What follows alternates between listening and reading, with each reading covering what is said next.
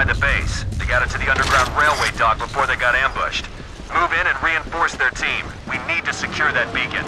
Then support the Delta team and eliminate all hostiles at the loading dock. We need to retrieve that beacon.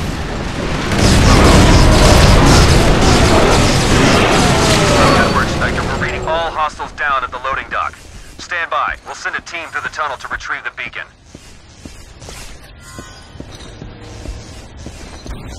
Just blew through the barricades. You've got heavy enemy reinforcements coming in from the tunnels.